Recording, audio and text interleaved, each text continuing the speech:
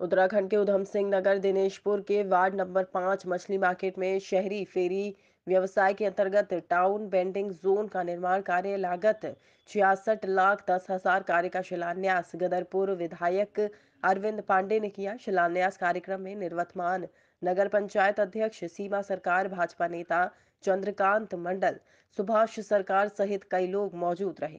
इस दौरान क्षेत्रीय विधायक अरविंद पांडे ने कहा कि मछली विक्रेता एवं मीट विक्रेता, साथ ही स्थानीय लोगों की मांग पर मछली बाज़ार हाईटेक बनाए जाने की मांग की गई थी, जिसका नगर पंचायत बोर्ड के द्वारा प्रस्ताव बनाकर भेजा गया था, जिसकी स्वीकृति हो गई है। आज इसका शिलान्यास किया गया है। मांग थी कि मछली बाज़ार हाईटेक होना चाहिए।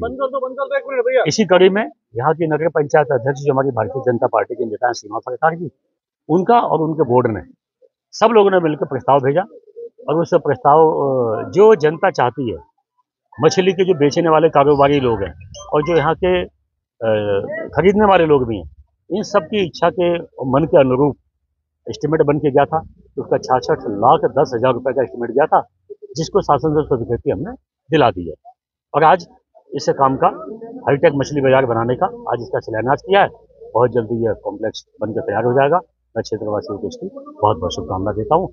यह अच्छा मार्केट बनने से निश्चित ही इस कारोबार में लोगों की प्रगति होगी और लोगों को अच्छा भी लगेगा।